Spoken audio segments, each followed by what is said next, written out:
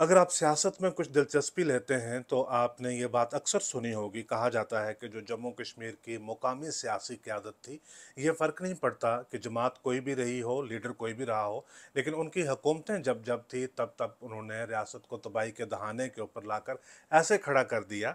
और फिर मरकज़ की मुदाखलत की जायज़ ज़रूरत बन गई तब जाकर हालात तब्दील या बेहतर हो पाए। और गुजशत तीन चार बरस से तो ये बात बहुत बुलंद आवाज़ में कही जाती है कि तब से, कि जब से यहाँ की फ़ैसला साजी के और कानून साजी के सारे अख्तियार जब से दिल्ली के पास चले गए, तब से ही जाकर आवाम की तकदीरें बदलने लगी और नया जम्मू कश्मीर तश्कील हो पाया। अब लगभग हर तरफ़ से इस बात का इकरार ज़रूर है कि फ़िल वाक़ हालात ख़राब ज़रूर रहे हैं। कभी सियासी तौर के ऊपर हो सकते हैं, जज्बाती तौर के ऊपर हो सकते हैं, इकतसादी तौर के ऊपर हो सकते हैं, ये सलामती तौर के ऊपर हो सकते हैं, यानी सिक्योरिटी के पॉइंट ऑफ़ व्यू से हो सकते हैं। अगर हालात ख़राब रहे हैं और कोई उनका ज़िम्मेवार है तो ज़िम्मेवार ठहराने के लिए ये भी ज़रूरी बन जाता है कि तहकीक कर लें कि सबसे लंबा दौर हुकूमत जम्मू कश्मीर में किसका रहा, सबसे लंबा इकतदार किसके हाथ में रहा। मेरा नाम जफ़र चौधरी है, आप मेरे साथ राजभवन की कहानियाँ सुन रहे हैं। मरकज़ की मुदाखलत का क्या मतलब हुआ? मरकज़ के अमल दखल का क्या मतलब हुआ? यानी सरकारें हटा दो, सरकारें गिरा दो, नई सरकारें बना दो, हमारी पार्टी की सरकार बना दो, हमारी पार्टी बर रास्त आएगी, हमारी पार्टी प्रॉक्सी के साथ सरकार चलाएगी। जब कोई तौर तरीका नहीं हुआ तो सारे कवानीन सारी चीज़ें लेजिस्लेचर एग्जीक्यूटिव सारी इकट्ठी करें तो राजभवन के अंदर दाखिल कर दें। कि ये गवर्नर साहब अब हमारे वहाँ पर नुमाइंदे होंगे, लेकिन सरकार हम दिल्ली से चलाएँगे। अब ये बात इतनी आसानी के साथ कही नहीं जा सकती क्योंकि जम्मू कश्मीर के ऊपर अक्सर जो तजिया कार हैं, जो एनालिसिस वगैरह करते हैं, अपनी असेसमेंट पेश करते हैं कि क्या हालात ख़राब हुए यहाँ पे, क्या मामला यहाँ पे रहे, फिर बड़े इकदाम उठाने पड़े। तो वो एक बात ये भी कहते हैं कि जब वो पाकिस्तान की जो सारी जुम्मेवारी बता के दहशत गर्दी टेररिज्म मिलिटेंसी सेपरेटिज़म इन सारी चीज़ों को बताकर फारग जब हो जाते हैं, वो तब ये बात भी कहते हैं कि जो मरकज़ की पूरे सत्तर पचहत्तर साल जो हैंडलिंग रही है जम्मू कश्मीर की, वो भी कुछ कम जुम्मेवार नहीं थी हालात ख़राब करने के लिए। तो अगर मरकज़ की हैंडलिंग को मिस हैंडलिंग बताकर मैं अगर पूरा एक खाका खींच कर बताऊँ कि मरकज़ ने क्या क्या चीज़ें यहाँ पे की हैं तो वो आज के दौर में पोटेंशली एंटी नेशनल कंसिडर किया जा सकता है। और कोई भी नहीं चाहेगा कि आज के दौर में वो अपने आप के ऊपर एंटी नेशनल का लेबल खाम खा ही लगवा ले। तो लिहाजा मैं ढूंढ रहा था कि इस मुल्क में कौन ऐसा नेशनलिस्ट चेहरा, ऐसी नेशनलिस्ट फिगर है, जिसकी ओपिनियन लगभग वैसी है मरकज़ की हैंडलिंग के ऊपर जैसी ओपिनियन मेरी है। तो लो एंड बी होल्ड मुझे पता चला कि मरकज़ी वज़ीर दाखिला, यानी union home minister Amit Shah भी लगभग वैसे ही सोचते हैं जो मेरी रिसर्च है, जो मेरा एनालिसिस है। दिलचस्पी की बात यह है कि 24 जून 2019 को, यानी 5 अगस्त 2019 के कुछ ही रोज़ पहले की बात है, कि अमित शाह बतौर होम मिनिस्टर पहले दो बिल लेकर पार्लियामेंट में आए। ये उनका बतौर होम मिनिस्टर पार्लियामेंट के अंदर पहले दो पीसेस ऑफ़ लेजिस्लेशन थे।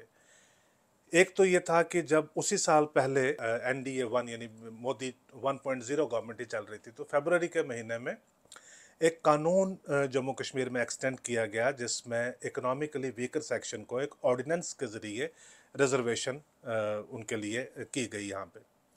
लेकिन तब भी शोर शराबा बड़ा हुआ था कि ये आपने आर्टिकल 370 के साथ मुदाखलत की है। अब जून के महीने में 24 जून को अमित शाह दो कानून लेकर आ गए, जिसमें वो एक ये इकोनॉमिकली वीकर सेक्शन का जो ऑर्डिनेंस था, अब उसको पार्लियामेंट से ये रेटिफाई करवाना चाहते थे। और दूसरा ये था कि अब जो गवर्नर रूल लगा हुआ था, यानी प्रेसिडेंट रूल अब जो टेक्निकली था उस वक्त जम्मू कश्मीर में, उसका जो पहले लगने की म्याद थी, उसको छः महीने पूरे हो रहे थे दो जुलाई को तो दो जुलाई से पहले पहले पार्लियामेंट से अप्रूवल लेना था उसकी एक्सटेंशन के लिए। लिहाजा ये बिल इन्होंने इंट्रोड्यूस कर दिए एक जुलाई 2019 की राज्यसभा की उनकी तकरीर है तिरसठ मिनट की। वो आप ज़रूर सुन लीजिएगा। उससे उन्होंने अपना पूरा माइंड सेट जो है वो रिवील किया। तब अपोजिशन के जो लीडर होते थे, गुलाम नबी आज़ाद थे। गुलाम नबी आज़ाद को उन्होंने अपनी तकरीर के दौरान 19 बार उन्होंने मेंशन किया, उनका नाम लिया।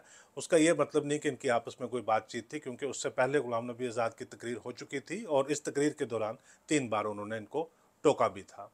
खैर जो ये लंबी तकरीर है, इसमें उन्होंने बहुत सारी बातों की वजाहत उन्होंने की। इसको तीन पार्ट्स में डिवाइड किया कि जो अमित शाह के पॉइंट ऑफ़ व्यू से या मोदी गवर्नमेंट के पॉइंट ऑफ़ व्यू से या बीजेपी जो अब की बीजेपी नई बीजेपी है, उसके नज़रिया में जम्मू कश्मीर का मामला दरअसल है क्या है?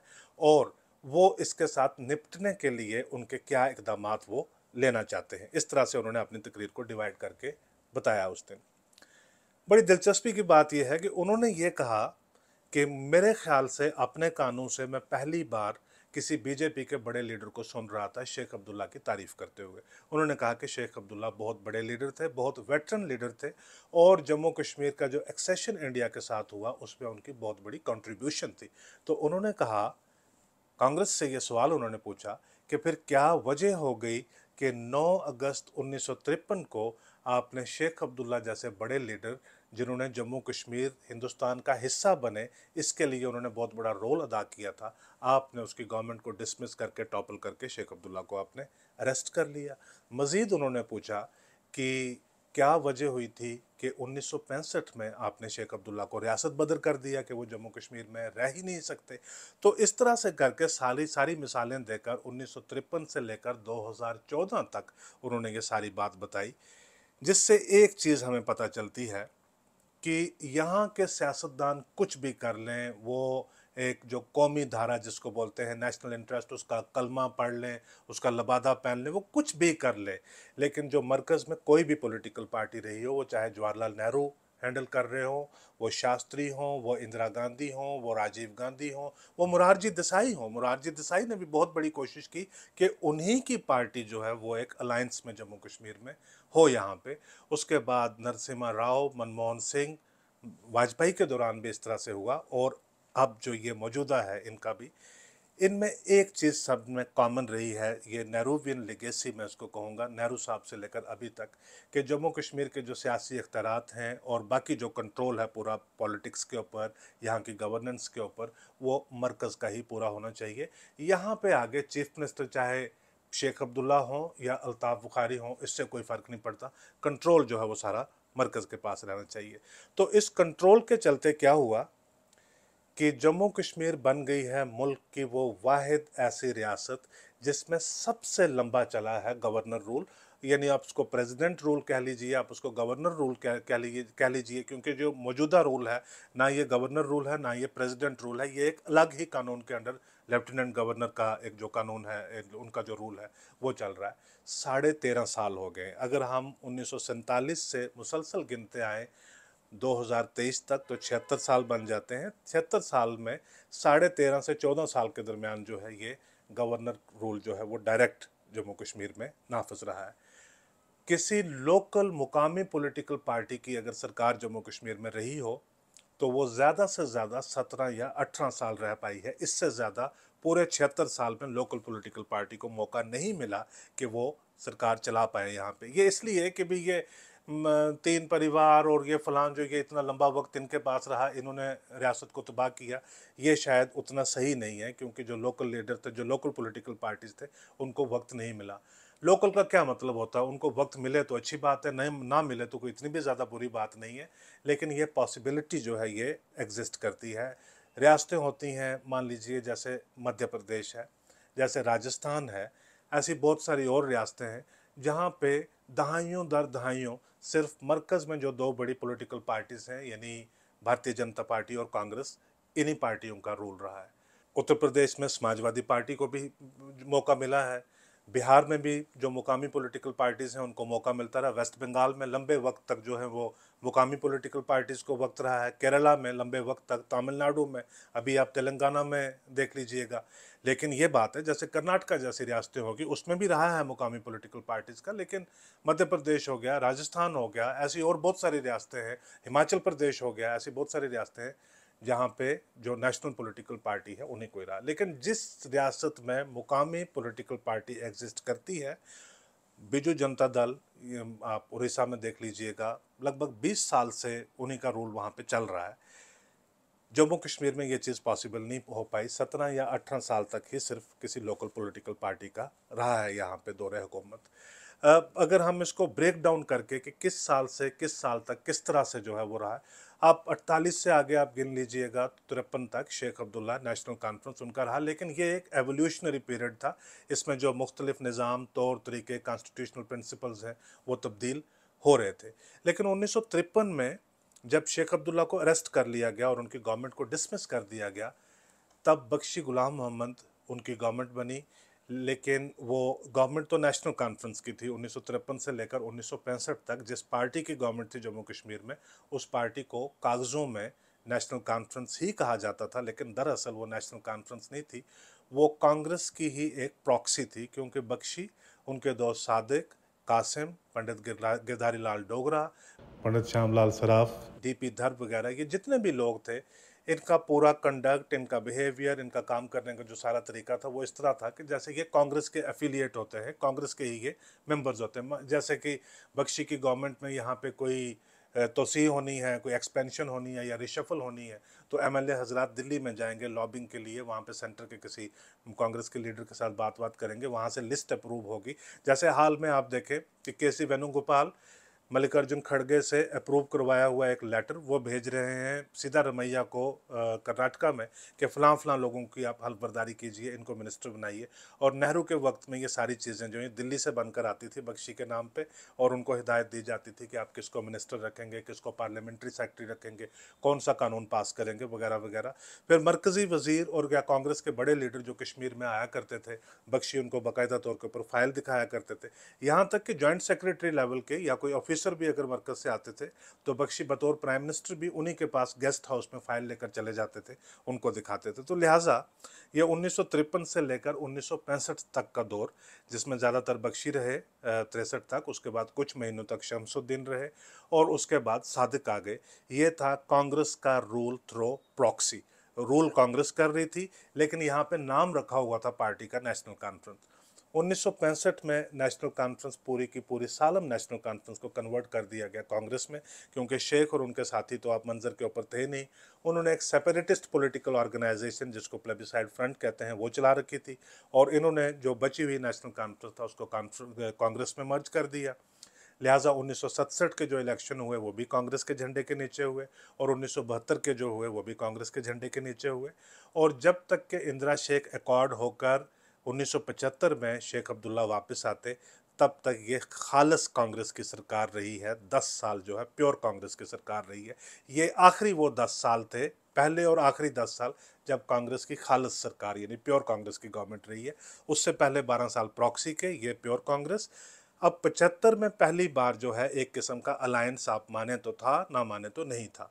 क्योंकि जो असेंबली थी, वो थी उन्नीस की इलेक्ट हुई हुई कांग्रेस के झंडे पे, कांग्रेस के मैनिफेस्टो के ऊपर।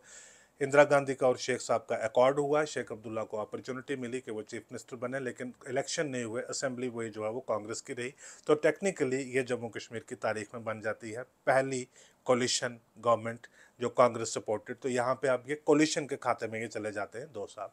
ये पहली बार, फिर तिरपन के बाद पहली बार ये पॉसिबल हो पाया 1977 के इंतबात के बाद कि जो मुकामी लोकल पॉलिटिकल पार्टी है, यानी नेशनल कॉन्फ्रेंस पूरे मेजॉरिटी के साथ उन्होंने अपनी गवर्नमेंट बनाई, जो उन्नीस सौ बयासी तक शेख अब्दुल्ला के रहने तक रही। उनकी वफात के बाद फारूक अब्दुल्ला चीफ मिनिस्टर बने और उन्नीस में दोबारा इलेक्शन हुए, जो फारूक अब्दुल्ला ने फिर से नेशनल कॉन्फ्रेंस ने जीते और उन्नीस सौ चौरासी तक उनकी गवर्नमेंट रह पाई, क्योंकि 1977 से लेकर चौरासी तक यही वो वक्त था जिसमें मुकामी लोकल पॉलिटिकल पार्टी की गवर्नमेंट थी।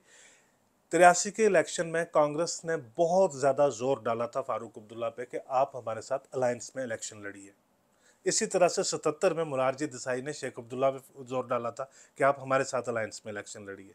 जब तिरासी में फारूक अब्दुल्ला ने कांग्रेस के साथ अलायंस में इलेक्शन नहीं लड़ा तो उन्होंने एक साल के अंदर अंदर इनकी मेजॉरिटी के साथ इलेक्ट हुई गवर्नमेंट जो है वो गिरा दी। और उसके बाद गुलशाह की गवर्नमेंट बनी जो लगभग 20 महीने चली। उसमें कांग्रेस नेशनल कॉन्फ्रेंस का एक डिसिडेंट ग्रुप था और कांग्रेस ने उनको बाहर से सपोर्ट दी थी। ये कोलिशन गवर्नमेंट का एक दूसरा फ़ेज़ आपके पास आ गया। उसके बाद फिर से गवर्नर रूल लगता है। उन्नीस सौ छियासी के नवंबर के महीने में फारूक अब्दुल्ला की सरकार दोबारा बहाल होती है, लेकिन असेंबली डिजॉल्व कर दी जाती है। ये फिर से एक नेशनल कॉन्फ्रेंस और कांग्रेस का अलायंस था। उन्नीस सौ सतासी में दोबारा से नेशनल कॉन्फ्रेंस और कांग्रेस के अलायंस में गवर्नमेंट हुई, जो 1990 जनवरी तक चल पाई। उसके बाद लगभग पौने सात साल गवर्नर रूल फिर से रहा। अब उन्नीस सौ छियानवे से लेकर 2002 तक मेरे ख्याल से अगले 50 साल तक ये स्टेटस जो है, ये तब्दील होने वाला नहीं है। कि ये आखिरी बार थी जब एक लोकल जम्मू कश्मीर की रीजनल पॉलिटिकल पार्टी की सालम ऑन इट्स ओन अपने मैंडेट के ऊपर सरकार जम्मू कश्मीर में रही हो। ये नेशनल कॉन्फ्रेंस की गवर्नमेंट थी, फारूक अब्दुल्ला चीफ मिनिस्टर थे उन्नीस सौ छियानवे से लेकर 2002 तक। उसके बाद पीडीपी कांग्रेस, उनका अलायंस रहा, दो बार चीफ मिनिस्टर तब्दील हुए। उसके बाद नेशनल कॉन्फ्रेंस और कांग्रेस, उनका अलायंस हुआ छः साल तक उमर अब्दुल्ला चीफ मिनिस्टर रहे।